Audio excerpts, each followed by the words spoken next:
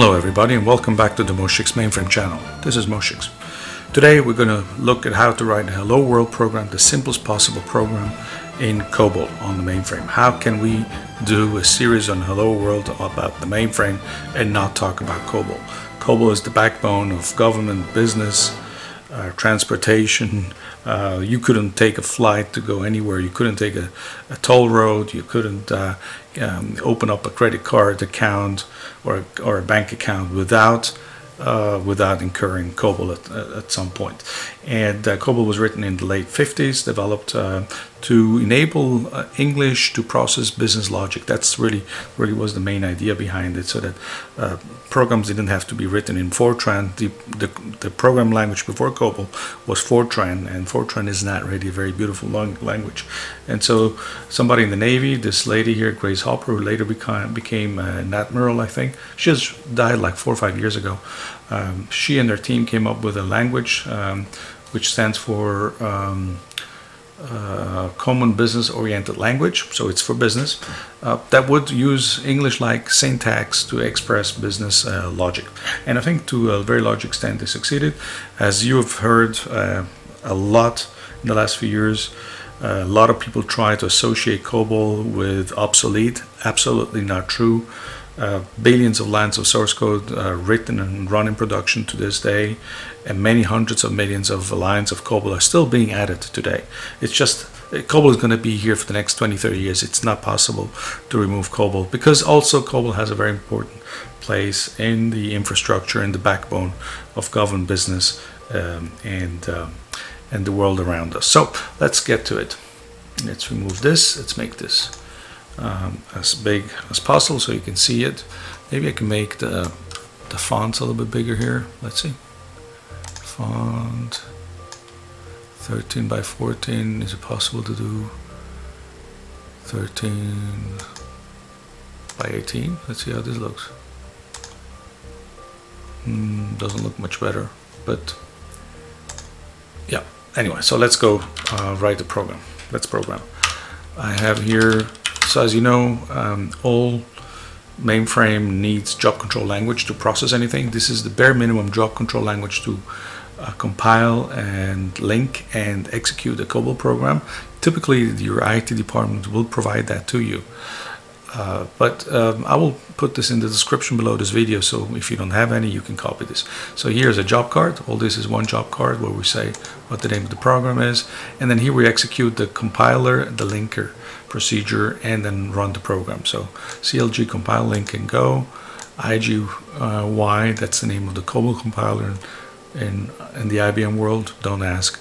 And then here you have some of the of the parameters for the compiler. Um, it's just it's just there's just a very little, a very small subsection of the section of all the of all the um, options as you would have with of the Linux or uh, Windows operating systems as well. All those modern compilers have lots and lots of switches.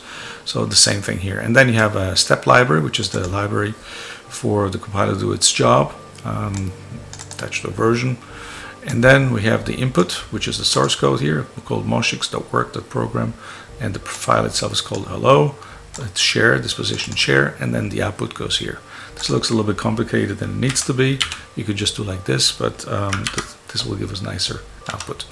Okay, so this is the very, very bare minimum uh, of job control language, and then let's go and, oops, and write our program. So we'll write it. Uh, let's do columns. So COBOL is uh, position dependent. So let's start here in column number 8 and say identification division. And this is how we call the program. Um, program ID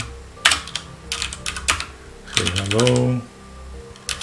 And then um, we say procedure division. This is where the code is and then we say display hello world.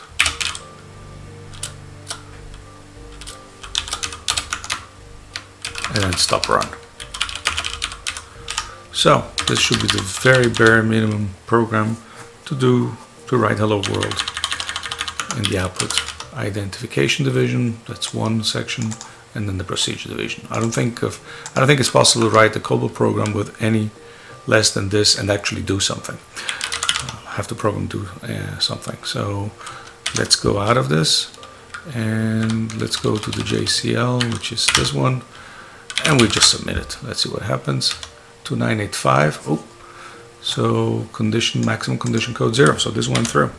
Let's go uh, look at the output viewer. What I do here is I go M for more. Okay then I take um, SD I'm running here on a real mainframe at the University of Leipzig in Germany. Um, very friendly folks have granted me an account very graciously. So spool um, search and display facility spool viewer and here we go H. And let's look here what happened.